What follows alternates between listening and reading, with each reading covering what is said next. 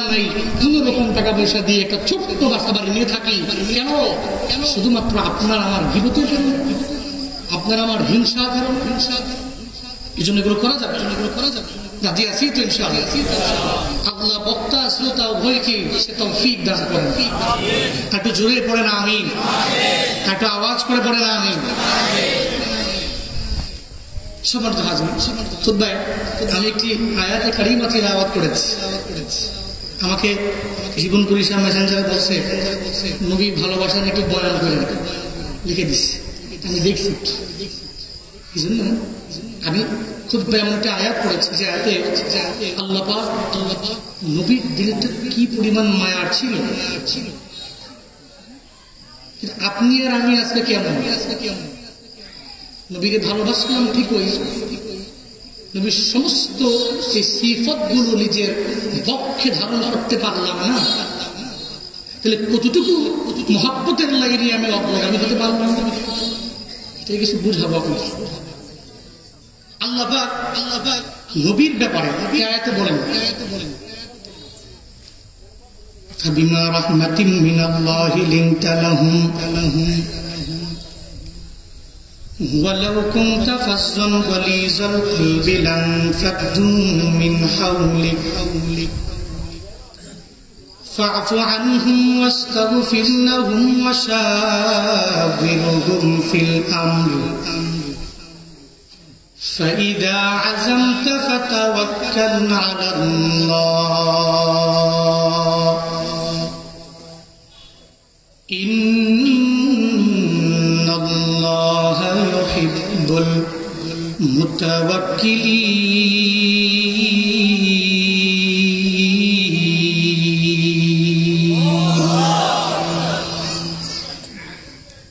আল্লাহ বলেন, ও আপনার দিলটাকে আমি আল্লাহ বড় মায়া দিয়া বানাইলাম। আমি রবের অনুগ্রহের কারণে আপনি সবার সাথে ভালো ব্যবহার করতে পারেন, ভালো আচরণ করতে পারেন আমি রবের অনুগ্রহের কারণে আপনি এদের সাথে ভালো ব্যবহার করেন। দূর আচরণ যদি করতেন, কেউ আপনার আশেপাশে থাকতো না। আল্লাহ বলেন আমি আল্লাহ, একমাত্র আমি আল্লাহ। জন্য রহমত করে আমি আল্লাহ দুনিয়াতে আপনারে পাঠাইলাম। আমি জন্য করুণা, দয়া বানাইয়া আপনারে পাঠাইলাম। ওয়ামা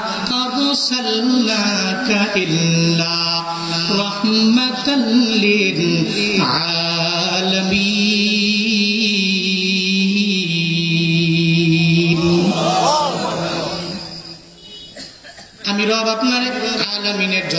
রহমত করে পাঠাইলাম। আলামিনের রব হলাম আমি আল্লাহ, এটার জন্য করুণা হিসাবে পাঠাইলাম আপনাকে। আল্লাহ যা জানায় দিলেন, আপনি আলামিনের জন্য রহমত। কি পরিমাণের দয়া জানেন বান্দা। আল্লাহ পাক নবীরে বলেন নাই, নবী, আপনি আলামিনের জন্য দয়ালু। আল্লাহ পাক নবীকে বলেন নাই, ও পয়গাম্বর, আপনি আলামিনের জন্য মায়াবান। পাক নবীরে বলেন নাই, নবী গো, আপনাকে আলামিনের জন্য দয়াশীল বানাই আমি আল্লাহ পাঠাইলাম, করুণাকারী বানাইয়া দুনিয়াতে পাঠাইলাম।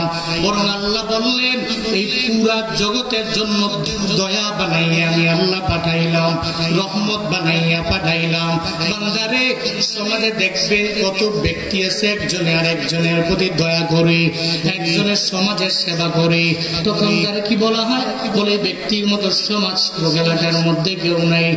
দেখবেন মাইকের মধ্যেও বলে, বিশিষ্ট সমাজ সেবক অমুকে এখন বক্তব্য দিয়ে দিবে। কেন সমাজ সেবক বলে ওই ব্যক্তির দিলটার ভিতরে মায়া আছে।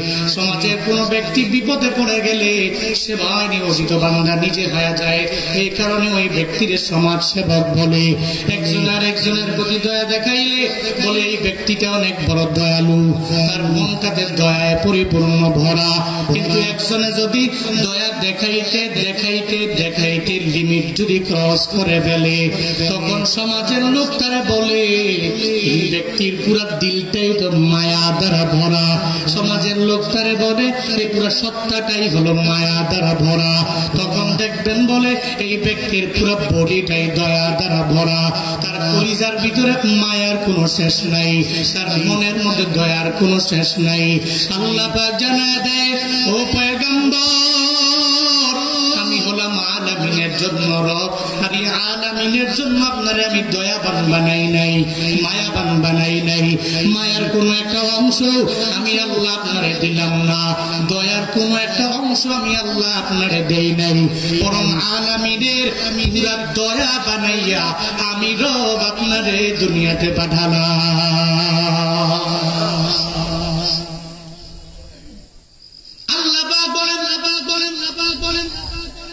আপনার দিলটারে আমি আল্লাহ বলেন মায়া বানালাম এটা আমি আপনার প্রতি অনুগ্রহ করলাম, যার কারণে আপনি সবার সাথে ভালো ব্যবহার করেন, দূর আচরণ করেন না। আর আপনার ব্যবহারে সব সাহাবায় কেরামেরা, সব মানুষেরা এত পরিমাণে মুগ্ধ হয়ে গেল, এরা এত পরিমাণে মুগ্ধ হয়ে গেল। হজরত অমরে ফারুকে আজমের দিকে একটু তাকায় দেখেন না। যে অমরে ফারুক রহমাতুল্লিল আলমিনের গর্দান নেওয়ার জন্য রওয়ানা ওই গর্দান নিবে দূরের কথা। বরং নবীর হাতে কালিমা পরে এত দামি মুসলমান হয়ে গেল। বলে, দুনিয়াতে যারা জান্নাতের সার্টিফিকেট পেয়ে গেছে এদের মধ্যে দুই নম্বরে হজরতে অমরে ফারুক রাজিয়াল্লাহু আনহুর নাম। শুধু তাই না রে বাবা, নবী উমরে ফারুকের ব্যাপারে জানা গেলেন লৌকানা নবিজুন বাদি লাকানা উমার। আমার পরে যদি নবী হতো, তাহলে আমার উমর আমার পরে নবী হতো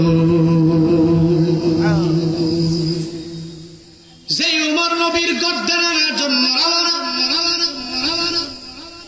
ওই অমরে ফারুক নবীর হাতে কালিমা করে মুসলমান হয়ে এত দামি হয়ে গেল আবু জাহাল উৎবা সাহেব আর মুগিরা দিনের বেলা ওই মোহাম্মদ ভালো না, ওই মোহাম্মদের দলে তোরা যাবি না, ওই মোহাম্মদের ধর্ম মানবি না। সবাই এক একজনে আর একজনের বলি, আবার আবু জাহাল গয়ে হ্যাঁ উৎবা ওই মোহাম্মদ তিলাওয়াত করে শুনবার জন্য যাবি না। উৎবা সাহেব আর সাহেবা মুগিরারে বলে, নিজেরা একজনে আর একজনের বলে, মোহাম্মদের তিলাওয়াত শোনা যাবে না। কিন্তু একটা পর্যায়ে কেমন হয়ে গেল, রাতের বেলা আবু জাহাল নবীর তিলাওয়াত শোনার জন্য লাইনে দাঁড়ায় গেল। উদ্বাও যায় গোপনে গোপনে নবীর তিলাওয়াত শুনে। সাহেবাও যাইয়া নবীর গোপনে গোপনে তিলাওয়াত শুনে। মুগিরাও যাইয়া নবীর তিলাওয়াত গোপনে গোপনে শুনে। আসার সময় একজনের একজনের সাথে ধাক্কা লাগার পরে আবু জাহালকে উদ্বা তোরে না মানা করলাম। উদ্বা কয়, সাহেবা, তোরেও না মানা করলাম। সাহেবা কয়, মুগিরা, তোরেও না মানা করলাম। এবার একজনে আরেকজনের খেলা টিলি দেয় নবীর তিলাওয়াত দিনের বেলা বলে, শোনা যাবে না। রাতের বেলা তিলাওয়াত শোনার জন্য ব্যাকুল হয়ে যায়। মূলত রে বাবা, কেমন নবী আমার জননী? নবীর পেছনে হয়তো অনেক ব্যক্তি অনেক কথা বলে।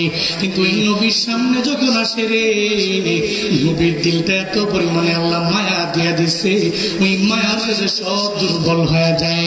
আর যখন আবু জাহাল বলে, কার দরবারে যাবা? বলে, মোহাম্মদের দরবারে যাবা।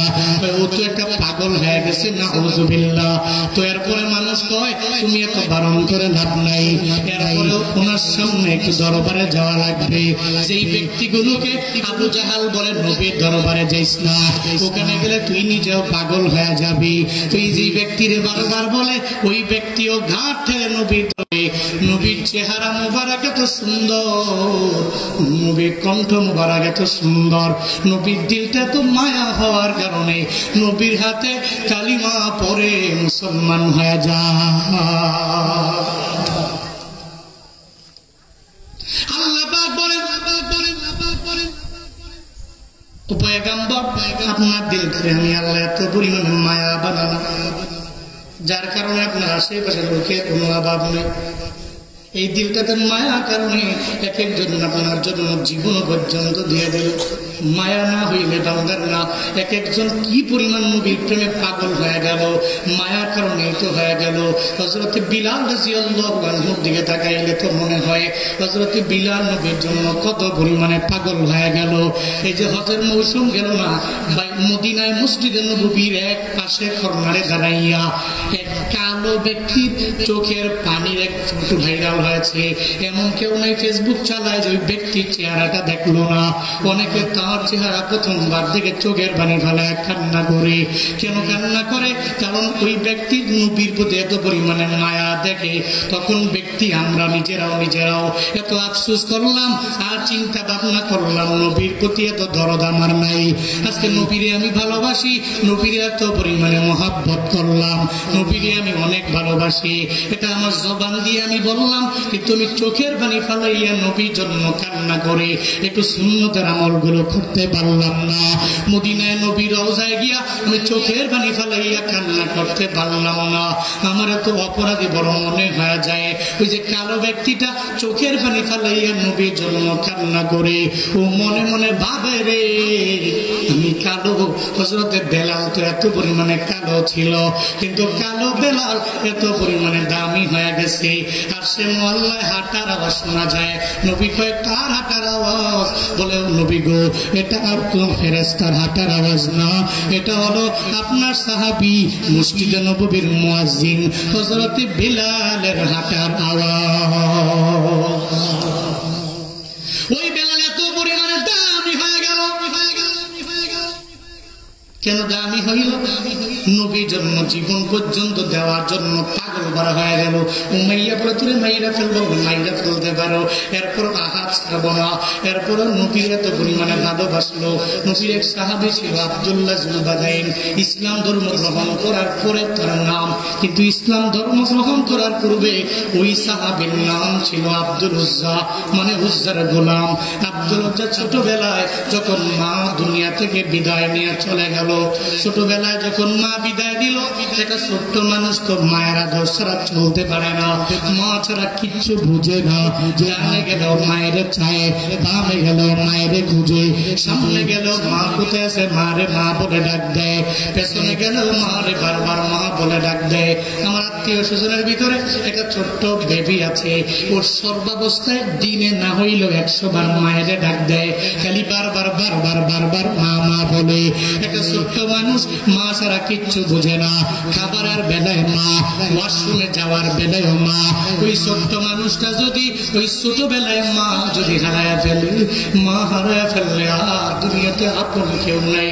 আমাকে গ্রামে বলে রে, মা যদি হারায় যায়, তো বাবা তো তাবি হয়ে যায়। তখন বাবা এত কদর করে না, এত স্নেহ করে না, এত মায়া করে না। ছোটবেলায় আব্দুল উজ্জার মা দুনিয়া থেকে বিদায় নিয়ে চলে গেল। মা চলে যাওয়ার পরে বাবা আরেকটা বিয়া করে ঘরের মধ্যে বউ নিয়ে আসলো। ঘরের মধ্যে সৎ মা যখন চলে আসলো, মনে রাখবারে বাবারা সব মা তো কশ্চিন কেন আপন মায়ের মতো হবে? হবে। কশ্চিন কালেও অসম্ভব অসম্ভব আপন মা তো আপন মা, সৎ মা তো সৎ মা, আপন মা তো আপন মা। আব্দুল উজ্জার গড়ের মধ্যে যখন বাবা বিয়ে করে আরেকটা মা নিয়ে আসলো সত্যি হোক, ওই মায়ের আদর তো পায় ঘরে আছে বাবা আর মা। বাবাও তো আগের মতো স্নেহ করে না, মায়া করে না। ওদিনও ফেসবুকে দেখলাম, এক ছেলে বাড়ি হচ্ছে সাতকানিয়া লোহাগাড়া ওই ছেলে ফেসবুকে লেখছে, আমাদের খুব পুরী থেকে আমরা সাতকানিয়া লোহাগাড়ায় গেলে তেমন কোনো প্রোগ্রাম নাই যে প্রোগ্রামে সে অ্যাটেন্ড করবেন সব প্রোগ্রামে যাবে। ভদ্র ছেলে, ওই ছেলের মা মারা গেছে আজ থেকে আট মাস পূর্বে। তো মা মারা যাওয়ার পরে প্রচুর কান্নাকাটি ফেসবুকে সেট দিয়ে আমি মা সারা বাঁচি না নিশ্চয়। কত কথা। মনের দুঃখগুলো এখন তো অনেকেই ফেসবুকেই লেখে। যদিও আমি দুঃখের বলছি না অনেকেই লেখে। প্রায় সময় ভালো ভালো ব্যক্তিরাও ফেসবুকে এখন লেখালেখি করে নিজের দুঃখের বিষয়গুলো বলে শেয়ার করে। অনলাইন ভিত্তিক শেয়ার ওই ব্যক্তি শেয়ার করছে। হয়তো এক মাস আগে দেখলাম লেখছে আমার বাবা আমার এত পর হবে আমি জীবনে বুঝি না জীবনে তার ফোন দিয়ে আমি বললাম ফোন দিয়ে আমি বললাম খবর কি? খবর ফেসবুকে এই পোস্ট কেন তো আমি শেষ আমি শেষ। আমার মা যেদিন থেকে মারা গেছে, এর পরের দিন থেকে আমার বাবা আমার স্নেহ করে না, আমার মায়া পড়ে না, বিয়ে করে ফেলছে দুই মাসের ভিতরে, নিয়ে আসছে অলরেডি ঘরের মধ্যে। আরেকটা আমার সৎমা, এখন আমার সাথে সে, আমি তো ছেলে, একটা স্নেহ, একটা মায়া, একশো ভাগের দুই ভাগ কষ্ট কি না বেশি না বেশি? বলেন না কেন। কম না বেশি? আপন মা তো আপন মা, সৎ মা তো সৎ মা তো সৎ আব্দুল উজ্জার ঘরের মধ্যে সৎ ঘরের মধ্যে সৎ একদিন পরে বাবা দুনিয়া থেকে বিদায় নিয়ে চলে গেল চলে গেল। এবার বাবাও দুনিয়ায় নাই, মাও দুনিয়ায় নাই, দুইজনে বিদায় নিয়ে নিল। এই পর্যায়ে আছে? সৎমা সৎমা তো কামাই করাই না খাওয়াইতে পারবে না। আস্তে আস্তে তো উজ্জা দিন দিন দিন দিন দিন দিন day by day day by day যখন বড় হতে থাকল সৎমা তার দইরা নিয়ে তার চাচার ঘরে নিয়ে গেল। আব্দুল উজ্জার চাচার দরবারে যায়, চাচাকে জানায় দেয়, ও আব্দুল উজ্জা চাচারে এই আব্দুল উজ্জারে আপনার ভাতিজারে আপনার কাছে হ্যান্ড ওভার করে দিয়ে দিলাম? তারে দেখাশোনা করার দায়িত্ব আপনার, তারে আপনি দেখে শুইনা রাখবেন, তারে আপনার কাছে রাখবেন। যত কাজ আছে, পরিবারের সহ কাজগুলো আপনি করাবেন। আপনার কথা অনুযায়ী সে চলবে তাকে শুধু খাবারের বেলায় একটু খাবার দিলে আব্দুল উজ্জার হয়ে যাবে। আব্দুল উজ্জারের চাচার কাছে হ্যান্ড ওভার করে চলে গেল। মনের মধ্যে একটু করে ধারণ করতে থাকে একটা পর্যায়ে নবীর প্রতি প্রেম আর ভালোবাসার সাগরের মধ্যে যখন ডুব দিবে ভাব ওই পর্যায়ে একদিন চাচার সামনে খাবারের প্লেটটা নিয়ে যখন বসে গেল এবার চাচা খায় আব্দুল চাচা তুমি কেন খাও না? বলার পরে আবার বলে তুমি কেন খাও না? এরপরেও কিচ্ছু বলে না। এরপরে আবার বলে তুমি কেন খাও না? এরপরেও কিচ্ছু বলে না। আব্দুল উজ্জাবের সঙ্গে সঙ্গে জানায় দেয় চাচারে আপনি মদিনা একজন নবী আছে। ওই নবীর নাম আপনি শুনছেননি? ওই নবীর ব্যাপারে আপনার ধারণা কি? এই ব্যাপারে আমার একটু বলবেননি এবার আব্দুল উজ্জাব চাচা জানায় দেয় বাতিজারে ওই মদিনা একজন নবী আছে। ওই নবীর নাম হলো মোহাম্মদ সাল্লাল্লাহু আলাইহি ওয়াসাল্লাম। ওই নবী নবীর ব্যাপারে জানি, আসমানের নিচে জমিনের উপরে ওনার মতো সম্মানী কেউ হতে পারে না। ওনার মতো আলামিন এই জমিনের মধ্যে কেউ হতে পারে না। ওনার মতো ভালো মানুষ এই দুনিয়াতে কেউ হতে পারে না। ওনার মতো ভালো চরিত্রের অধিকারী এই দুনিয়াতে কেউ হতে পারে না। কেন বলে জানুনি একটা বিধর্মী হওয়া সত্ত্বেও নবীর প্রেমে পাগল হয়ে যায়। যদিও মুসলমান হয় না, এরপরেও আমার নবীর আল্লাহের মধ্যে একটু দাগ লেগেছে, কেউ বলতে পারবে না। ওই নবীর চরিত্র নিয়েও কিছু কথা পারে নাই। কিন্তু বর্তমানে আইসা কিছু কুলাঙ্গার বের হয়ে গেছে। দেখবেন মাঝে মাঝে মুসলমানদের দিলের মধ্যে আঘাত দেওয়ার জন্য। আমার নিয়ে কুটুক্তি করে এমন সেকুলার বাংলার জমিনে আছে না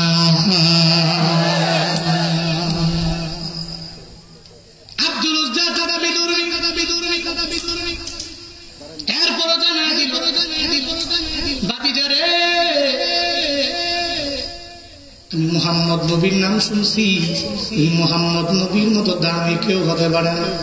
ওই নবী সম্মানী মানুষ ওই নবী ভালো মানুষ, ভালো চরিত্রের অধিকারী ওই নবী। কথা বলার পরে সঙ্গে সঙ্গে ভাতিজা জানায়া দেয়, ও চাচা আমার, ওই নবী ভালো মানুষ, ওই নবী ভালো চরিত্রের অধিকারী।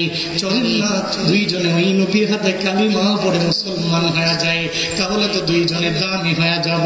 চাচা কয় ভাতিজারে উনি ভালো হতে পারে, কিন্তু আমাদের ধর্মের অনেক কেউ না।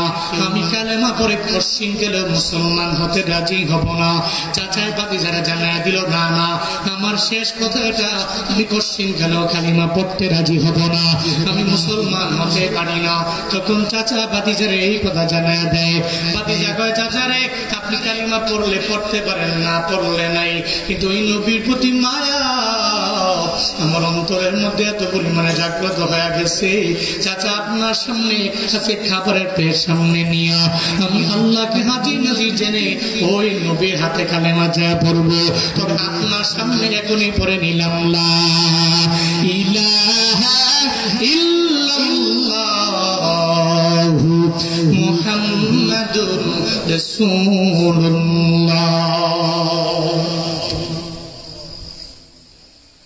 আব্দুল কালেমা পরে এবার মুসলমান হয়ে গেল। চাচার মাথা গরম নাকি ঠান্ডা? হ্যাঁ? তোরে এত আমার টাকা পয়সা দিয়ে তোরে বালি? তোরে বালি আমি করি দিন। বুঝেন নাই? তোরে এত কষ্ট করে পালি কি আমার কাজ? আমার গুনগান গাছ। আমি এমপির গুনগান লাগে তুই আরেক এমপির পিছনে ঘুষ বুঝেন বাস্তবতা বুঝেন।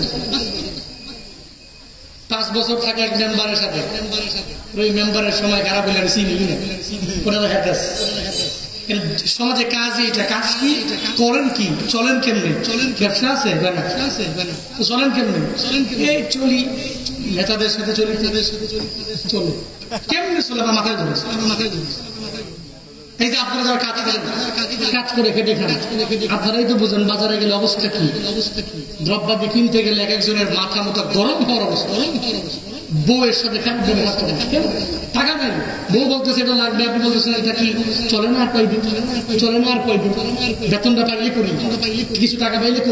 প্রত্যেকটা পরিবারে একই তো হালাত। বলেন? একই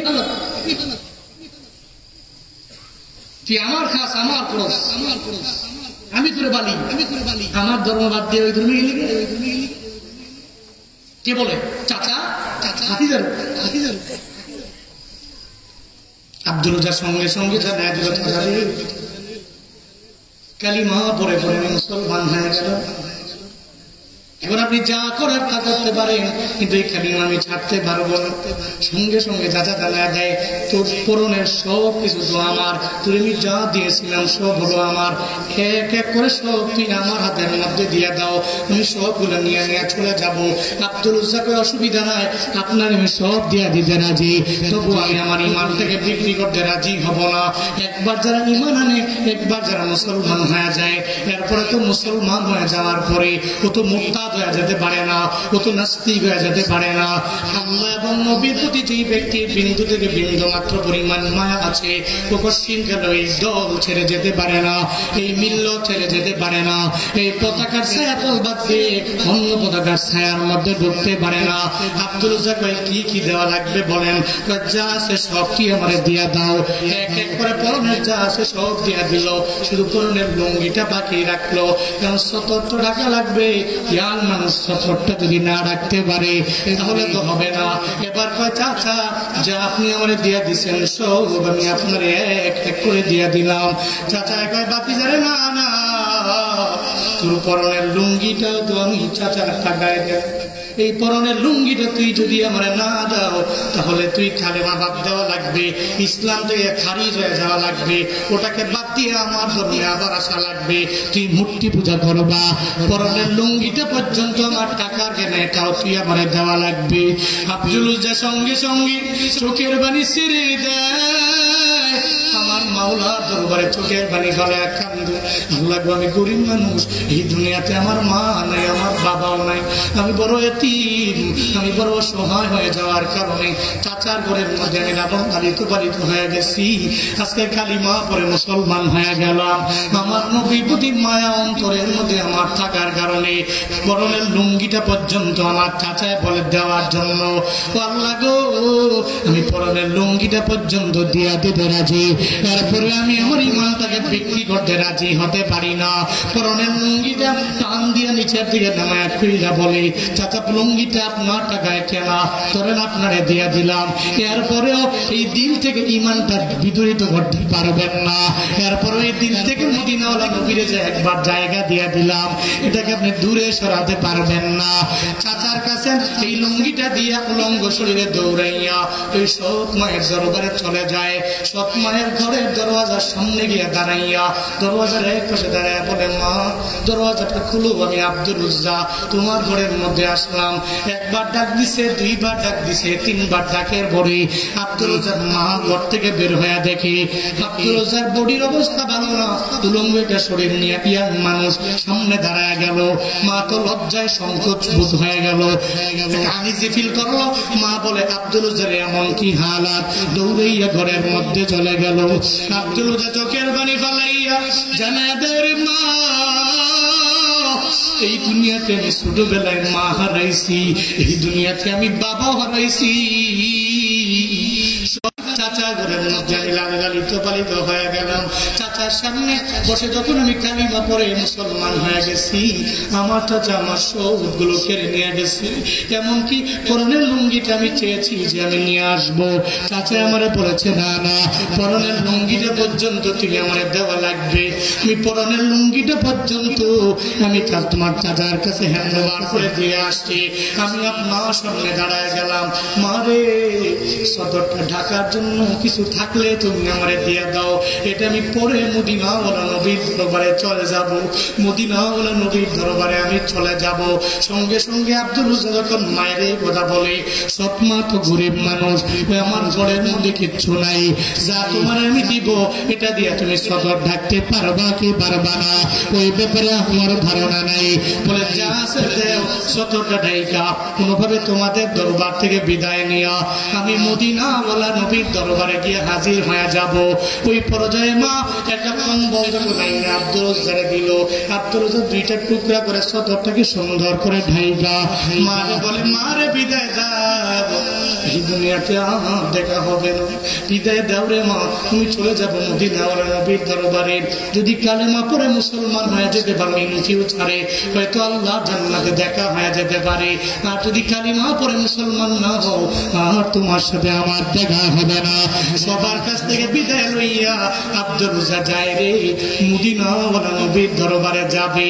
আউলাকে সে পাগল বেশে দৌড়ায়। কেন দৌড়ায়? মুদিনাওয়ালা নবীর সাক্ষাতের জন্য দৌড়ায়। নবীর কথা যারা শুনছে, অনেকে চোখের বাড়ি ফালে ফালে কান্দে রে কেন জানো? নবীর কথা শুনলে চোখের বাড়ি ধরে রাখতে পারে না। একেবারে নবীর প্রেম যার অন্তরের মধ্যে আসে রে। ওই ব্যক্তিটা দেখবেন চোখের পানি ফালে গোপনে গোপনে কান্দে। হুজুরের বয়ান যখন শুনে রাত গভীরে চোখের পানি ফালে ফালে কান্না করে। আর গুনে বলে রে আল্লাহ, জীবনে একবার হলে উমরা করার জন্য তুমি তৌফিক দিও। গুনগুনে বারবার বারবার বারবার কান্দে। আল্লাহ গো, জীবনে একবার হলেও আমার মদিনায় তুমি নিয়ে যাও। জীবনে একবার তুমি মক্কায় নিয়ে যাও। এই ময়দানে যারা আছেন, মক্কা মদিনা যারা যেতে পারেন নাই, যারা যাইতে পেরেছেন, একবার যারা যায় না যেতে চায়। মাত্র কাঁদছে একবার গিয়া, আত্মতৃপ্তি পায় না, ইতমিনানে কর্ম হয় না আত্মাটা প্রশান্ত হয় না। একবার গেলে দুইবার দুইবার গেলে তিনবার তিনবার গেলে চারবার চারবার গেলে পাঁচবার পাঁচবার গেলে দশবার বার বার বার বার যাইতে খালি মন চায় এই ময়দানে কারা আসো? এই খোলা ময়দানের নিচে আমার মাওলারে দেখায় দিবা। আল্লাহ গো, জীবনে আমি মক্কা মদিনায় যেতে পারি নাই। এই ময়দানে জুনায়দ আল হাবিবের সাথে আজকে মাগরিবের পরে এসার নামাজকে সামনে রেখে আল্লাহ তোমার দরবারে আর্জি জানালাম। তুমি আমার জীবনে মক্কা মদিনে একবার নিয়ে যেও মক্কা, মদিনায় কারা কারা যেতে চাও? দুইটা হাত তুলে আমার মাওলারে দেখায় দাও। আল্লাহ গো, জীবনে একবার হলে ওই ব্যক্তিগুলোর মক্কা তুমি নিয়ে যাও, নবীজি রওজায় সশরীরে সালাম দেওয়ার তৌফিক তুমি দিও। আল্লাহ গো, একটা ব্যক্তিকেও মদিনা, মক্কা না দেখাইয়া মাইরো না, পড়ে না আমি।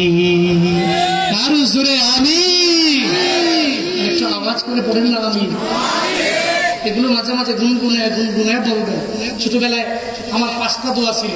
প্রায় জায়গায় গেলে ছোটবেলায় আমার দোয়া ছিল পাঁচ ওয়াক্ত নামাজের পরে মুনাজাতে পাঁচটা দোয়া করতাম।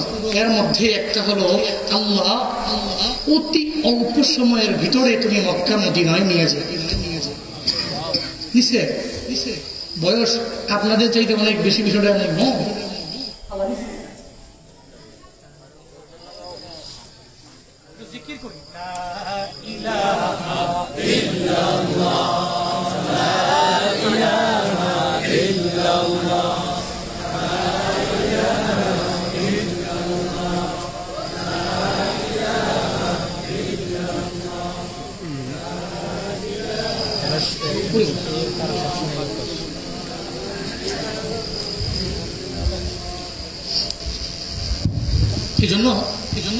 অনেককে বলি আমি অনেককে বলি মক্কা মদিনায় যাওয়ার জন্য হলে একটু গোপনে গোপনে গোপনে গোপনে রবের দরবার থেকে চাই। চাই পৃথিবীতে অনেক ধনীওয়ালা আছে, ধনীওয়ালা আছে, টাকাওয়ালা আছে, পৃথিবীর সমস্ত দেশগুলো ঘুরছে। এমন কোন দেশ নাই যাওয়ার না নাগা রমনা করার সময় হয় না। হজে যাওয়ার সময় সে পায়। সে পায়। আছে না? আমার পরিচিত কয়জন আছে।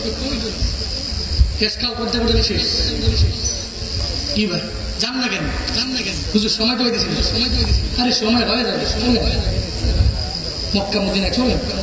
ওখানে গেলে লাগে। নবী রওজায় গিয়ে সরাসরি সালাম দিলে সালাম দিলে ভালো লাগবে এই জন্য এগুলোর জন্য রবের দরবার থেকে কান্নাকাটি করে করে করে করে করে একটু কিছু চেয়ে স্ক্যান করে দেওয়া লাগে। মাঝে মাঝে এগুলো চাইবেন। পারবেন তো ইনশাল্লাহ পারবেন তো ইনশাল্লাহ মনে বড় আশা ছিল যাব দিনা মনে বড়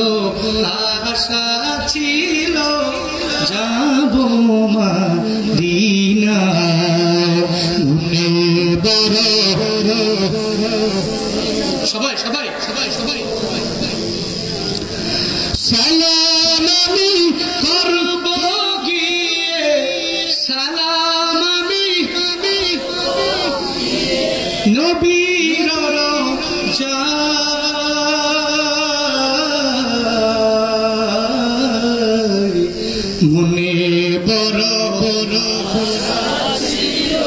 যাব দিনায় মনে আশা ছিল হারব সাগর পারি দিব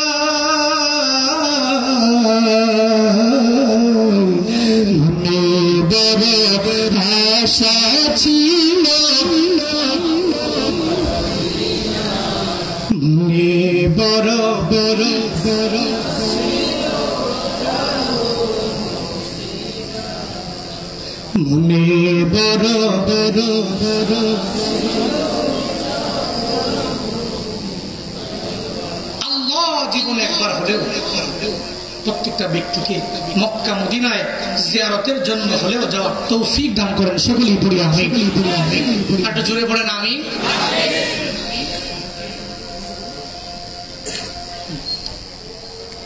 আজানগুলো শেষ হোক শেষ হোক।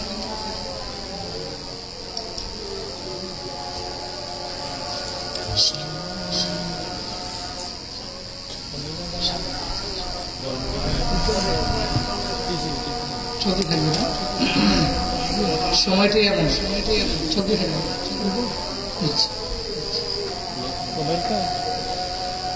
আব্দুল উজ্জা আব্দুল উজ্জা নবীর দিকে রওনা। নবীর দিকে রওনা। নবীর দরবারে যান। মসজিদ নববীতে। মসজিদ নববীতে। নবী। নবী। সাহাবা একরাম নিয়ে বসলাম আব্দুল উজ্জা গিয়ে দরওয়াজা দিয়ে উকি মারে। নবীজি বলে কে? নবীজি বলে কে? সাহাবা একরাম আব্দুল উজ্জাকে নিয়ে নবীর দরবারের সামনে হাজির করালেন। এবার রহমাতুল্লাহ আলমিন বললেন, কে তুমি? কি তোমার পরিচয়? বলো। আব্দুল উজ্জার সঙ্গে সঙ্গে নবীর চেহারা মোবারক দিকে চোখের পানি ফেলে কান্দে কেন কান্দে না? নবীর চেহারা মোবারক কত সুন্দর। আম্মা জানা আয়েশা সিদ্দিক রাদিয়াল্লাহু আনহা বলে সেলাই করতে যে সুইটা হারায় গেল। ল্যাম্প নাই, বাতি নাই, কেমনে পাবো? নবীজি তৎক্ষণাৎ ঢুকলেন, নবীর চেহারা মোবারকের আলোতে আমি আমার সুইটা খুঁজে পেলাম। বাড়ি যায় কই আমি? আর একটু আওয়াজ করে সুবহানাল্লাহ আব্দুল রহমাতুল্লিল আলমী চেহারা মুবারক দিকে চোখের বাড়ি ফেলায় কান্দে। নবী কয়, কে তুমি? কি তোমার পরিচয়? তুমি আমার জানো? আব্দুল জাকার নবী গো, আমি এটিম মানুষ। এক নম্বরে আমার পরিচয়, দুই নম্বরে এটিম হওয়ার কারণে এই যে কম্বলটা গায়ে দিয়ে সতর ডেকে আমি আপনার দরবারে হাজির হয়ে গেল। এ দুনিয়াতে আমার মাও নাই আমার বাবাও নাই, আমার কেউ নাই। এজন্য আমি কালেমা পরে মুসলমান হয়ে যাওয়ার পরে আমার কাছে আমার এই হালত করেছে আমি আপনার দরবারে হাজির হয়ে গেলাম। আপনার সান্নিধ্যে আমি চলে আসছি নবী। নবী আব্দুল এই কথা শুনে নবীও চোখের মুড়ি ফেলা কান্দিরে কারণ নবী এতিমের কথা সহ্য করতে পারে না। এতিমের দিকে তাকাইলে নবী নিজের মনটারে মানাইতে পারে না, কারণ নবীও তো একজন এতিম নবী ছিল। দুনিয়াতে আসার পরে যিনি বাবার আদর পায় নাই, বাবার চেহারা কেমন মুদিনাওয়ালা নবী দুনিয়াতে আসার পরে দেখে নাই? নিজের মার ছয় বছর বয়সে হারায় ফেলল, আট বছর বয়সে নিজের দাদারে পর্যন্ত হারাইয়া নবী এত পরিমাণে এতিম হয়ে গেল। ওই এতিম নবী এমন কোন এমন কোন কোন ব্যক্তি নাই যে বলতে পারবে, প্রমাণ করতে পারবে। নবী হাত হেঁটে যাচ্ছে, একজন এতিম নবীর পাশ দিয়ে হেঁটে যাচ্ছে। নবী তার মাথার মধ্যে হাত বুলায় নাই। এমন কোন প্রমাণ, এমন কোন দলিল কেউ দেখাতে পারবে না। একজন এতিম নবীর পাশ দিয়ে গমন করছে। নবী তার মাথার মধ্যে হাত বুলাইয়া দিছে। কারণ নবী এতিমের মর্ম বুঝে। আব্দুল উজ্জা হলো এতিম মদিনার নবী জানায় দে আব্দুল উজ্জারে তুমি কালিমা পরে মুসলমান হয়ে গেছো? তোমার নাম কি বলে আব্দুল উজ্জা বলে, মা বাবার রাখা। এই আব্দুল উজ্জার শিরকি নাম তোমার থাকতে পারে না। তুমি তো উজ্জার গোলাম হতে পারো না। তুমি তো পশ্চিম কালেও কোনো মূর্তির বান্দা হতে পারো না। মূর্তির গোলাম তুমি হতে পারো না। ও আব্দুল উজ্জারে আমি তোমার নাম এই জায়গায় নিজে নবীর নবীর নিজের মুখে আমি তোমার দিয়ে দিব।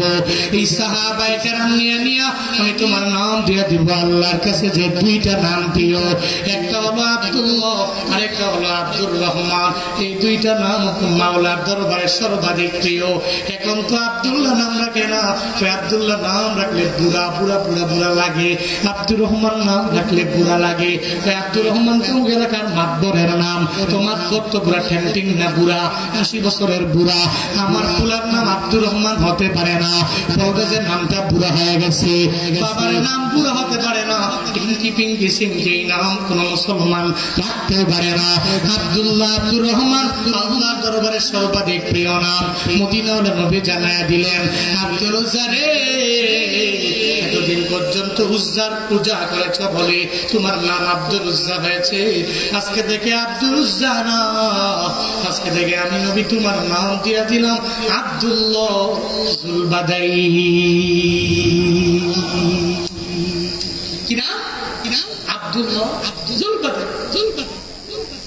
নবীর হাতে কালিমা পরে মুসলমান এত দামি হয়েছে আবদুল্লাহ কেন এত পাগল তারা?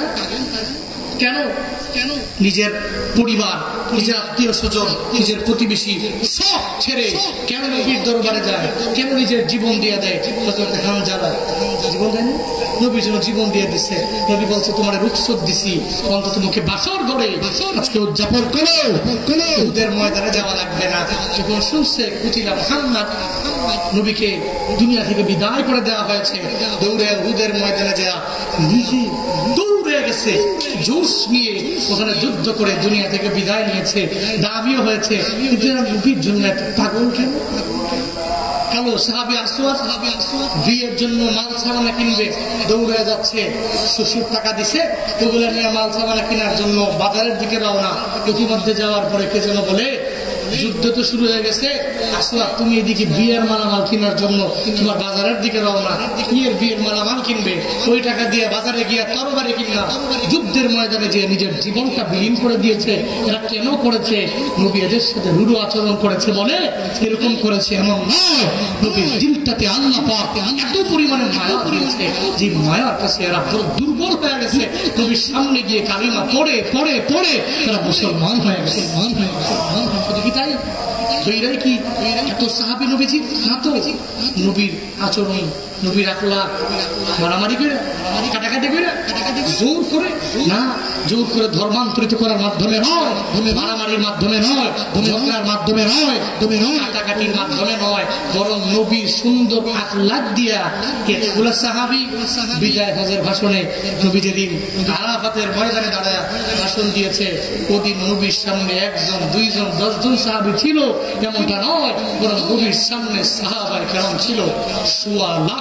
সাহাবা সুবহানাল্লাহ পড়বেন না? একটু আওয়াজ করে পড়বেন না এই জন্য তো বলি, আজও ওই নবীর আদর্শ বুকে লালন করে যদি কোনো মেম্বার চলতে পারে ওই নবীর আদর্শ বুকে লালন করে যদি কোনো চেয়ারম্যান চলতে পারে ওই নবীর আদর্শ বুকে লালন করে কোনো মেম্বার অফ পার্লামেন্ট যদি চলতে পারে, তাহলে টাকা দিয়ে ভোট ক্রয় করা লাগবে না। মানুষ ঢাকা থেকে বিদেশ থেকে নিজের ভাড়া দিয়ে এসে ভোট দিয়ে জয়যুক্ত করবে চিল্লা কাউ ঠিক ঠিক ঠিক ঠিক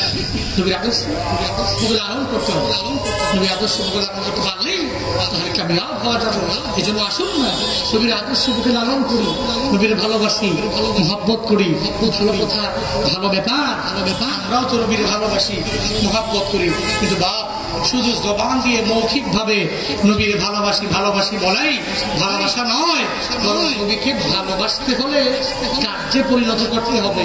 ইমানের মতো, ইমান যেরকম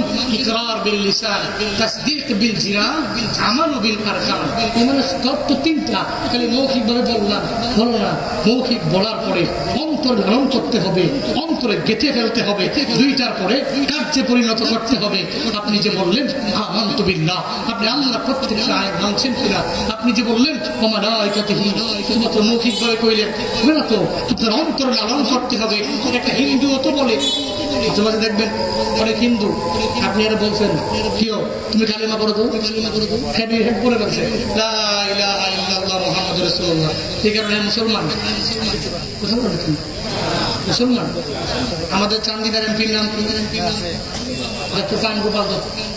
ডক্টর পান গোপাল দত্ত আসলে বয়ান করে। জানেন ওরে বয়ান কাকে বলে? সুন্দর করে একবারে ওমরে ফারুকের জামানার সমস্ত কথাবার্তা ওনার যে ঘটনাগুলো আছে কিচ্ছাগুলো আছে ওগুলো সুন্দর করে বলে। এমনকি কালেমাও কতবারে জবান দিয়ে বের করছে নিজে কইতে পারবেন বলছে বহুত বলছে এই কারণে করি মুসলমান? কথা বলো না কেন? এই কারণে মুসলমান শুধু মুখ দিয়ে বললে তো হয় না। লালন করতে হয় লালন করতে হয়। এই জন্য অন্তর লালন করেন। কেমন কি মহাব্বত নবীর করেন, ভালোবাসেন। নবীর ভালোবাসলে নবীর ডিকশনারিতে কোনো গালি নেই। আছে? নবীর অভিধানে, নবীর কথাবার্তায় এমন কোন ব্যক্তিকে দেখাতে পারবে? নবী একটা বিধর্মীকে পর্যন্ত গালি দিয়ে দেখাতে পারবেন দেখাতে পারবেন? তাহলে আমি আহলুস সুন্নাতুল জামাত ধরেন আমি আমি একজন আমি আমি একজন। আমি একজন, ধরেন আমি যদি হই তাহলে আমি যদি কালকে যে একজনে গালি দিই, একজনে গালি দিই? নবীর চরিত্রে, নবীর গুণে, নবীর সিফাতে গালি নাই, নবীর ডিকশনারিতে গালি নাই আপনি ফেসবুকে গেলে দিয়েছেন? গেলে ফেলুন একজনের মুনাসিব হয় নাই, ভালো লাগে নাই, গালি দেওয়া কি আর সমাধান? কেন? কেন মতের একটু অমিল হলে একটু অমিল মারামারি? কেন ঝগড়া জাতি ঝগড়া জাতি যেন ভাই ভাই?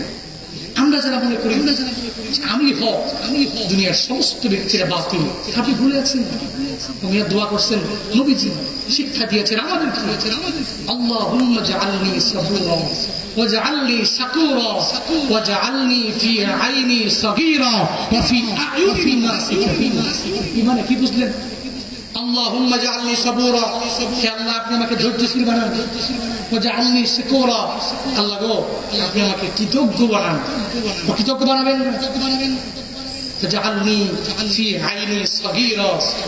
চোখে আপনি আমার ছোট বানান। আমার চোখে আমার ছোট বানান।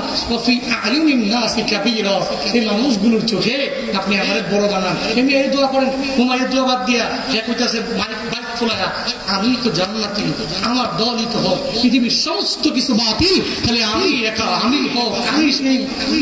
জীবনের শেষ মুহূর্ত পর্যন্ত নামাজ আপনার উপরে আপনি হবে। কি পড়তেছেন? এখনও জানি না কোন পথে আছি। আল্লাহ সঠিক পথে আছি কি নাই? জানি না। তুমি আমার সহজ সরল সঠিক পথ দেখাও। নামাজে বললেন একটা নামাজ থেকে বের হয়ে বিরোধিতা করলেন। আমি যদি আমার মতের আরেকজন ব্যক্তি দেখি "হেই, তুই ওহাবি মতের অমিল হলে "এই, তুই আগে আসো। কি বলো তুমি কি করছ? এগুলো কেন ভাই? মুসলমান বুঝান গালি দিয়েন না ধমক দিয়েন না। ধমক দিয়েন না আর মুসলিম মান সালমান মুসলিম না। মুসলিম। হিল্লিসানি নিজেকে মুসলিম বানান যে মুসলিমের হাত এবং জবান থেকে আরেক মুসলমান নিরাপদ থাকবে।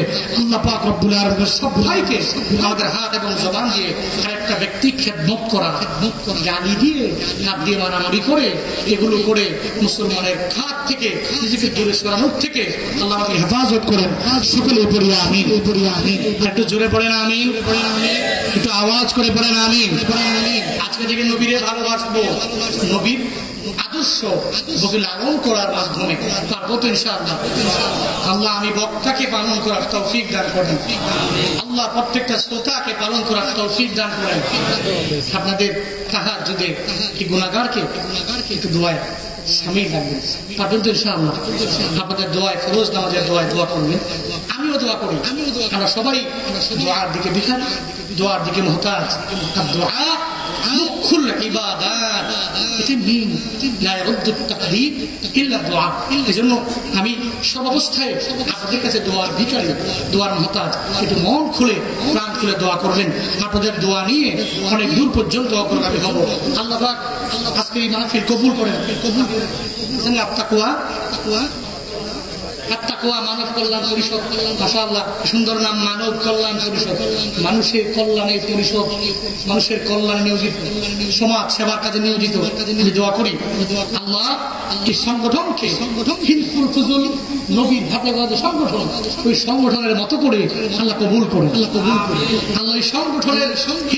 ফুজুলের সংগঠনের যে সমস্ত সাথী ছিল আল্লাহ এদের সাথে প্রত্যেককে একসাথে জানাতে থাকার তৌফিক দান করেন।